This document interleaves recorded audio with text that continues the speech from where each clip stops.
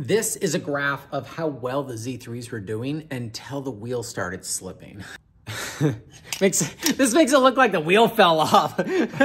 no, we worked really hard to take the wheel off, and that's what this video is about. We are deep down a rabbit hole to solve a problem, and I think it's interesting, and usually what I think is interesting turns into an episode that you guys like. So this is the wheel that goes in the Z3 Fire, and it has to be slippy and grippy, and I've made some content about that happening. But we are trying to design a wheel that's going to work really well for 10 and 11 millimeter. And so we have a 3D printed wheel that's a little bit fatter so that 11 mil rope would go inside of the wheel. And then we have the CNC'd one. And then we're gonna get about three more and find the perfect wheel, but you have to be able to take the original wheel off and put these on. So right now, this is what, well, that's a done one. okay, here is one that is not, we haven't touched yet. So you can see here that the wheel has a rivet holding it on and you're not exactly taking that off. It takes two actions to open this up. Uh, Line Grip Incorporated, the European distributor, came up with the idea to put a screw in the spindle. And so you tap the spindle, you drill this out, tap the spindle, put a screw in, and that is, makes it so you can replace the wheel because this is the wear part. When you rappel, you'll wear out the wheel like you would your GriGri, except you can replace it. You don't have to send it back to the manufacturer, not have your tool for one to some however many weeks, and then wait for us to put on another wheel when it's literally as simple as unscreen it yourself and screen it back in in the field. This is such a good idea that all the future units that are coming from AWA are coming with a screw.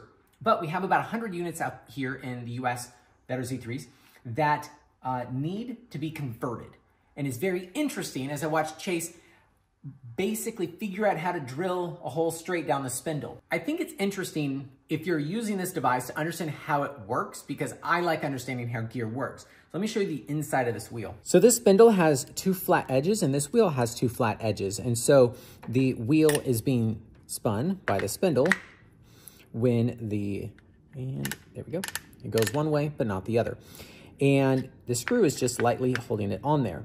And the screw is in the spindle and this is on there. And so the screw is not turning ever differently relative to the wheel. Please use a screw, but there's no screw in here. The wheel's on the spindle, it cannot come off. And if the spindle were to magically disappear, uh, I don't even know how to simulate that. The wheel's not big enough to come out of this when your rope's in there. It's actually relatively safe and we are gonna be certifying these devices and until they're certified, then please use a backup. You gotta look at how much space is between this and the wheel. This isn't even the wider wheel. This is not coming off that spindle. You're also gonna have a fatter wheel and you're gonna have a rope in there and you're gonna have a screw, it's not coming off.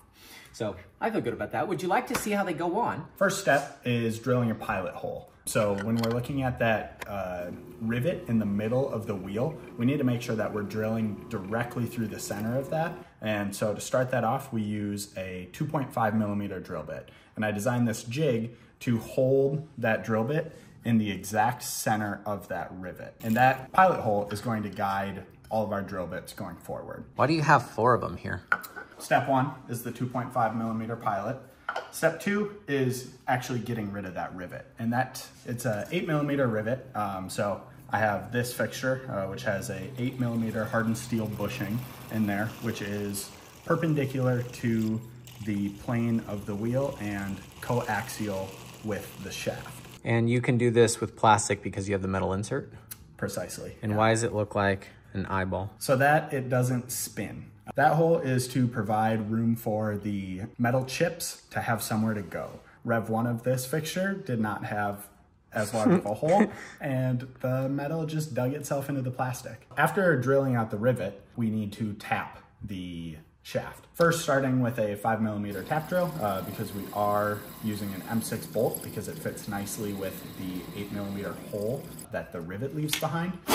And now we have the pilot hole for our M6 tap. Got a 6.1 millimeter bushing uh, in this jig, so gonna go ahead and place that on. And I have a tapered tap. Um, I'm gonna give it a little bit of WD-40 just so it cuts nice. Back off to clear the chips. That out.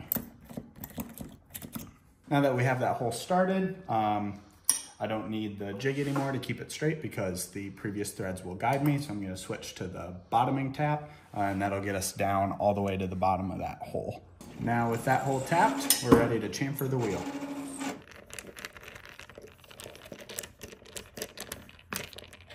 Spins, closes, and we have just a sliver of clearance. In case you made it through a video and you don't even know what this is, I'll at least show you. Uh, that goes on there, that goes on there, and it is a drill-powered pulley, and I forgot my drill. Oh, hey, hey, that's convenient.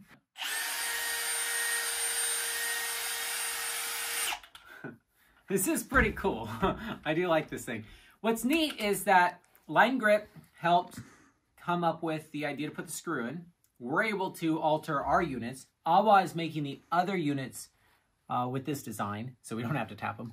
And they're going to continue to get better because we have other ideas as things go on. They're not PPE rated yet, but we're working on that. So the whole point of this isn't just to be able to replace the wear part easily. It's the fact that we can put or give you any wheel you want. And if we can find a sweet one that does 10 and 11 mil on all the ropes, that would be mission accomplished. But we have a wheel in my hand here that works for 11 to half inch rope, 12.7 millimeters. And I know arborists have been very interested in having one of these work on the ropes that they want to use. So some, we just actually had some people here who asked, would it work on 8 mil? And I'm like, I can make you a wheel. So I like that as an option. It's pretty cool, the collaborative effort put into these uh, drill powered pulleys.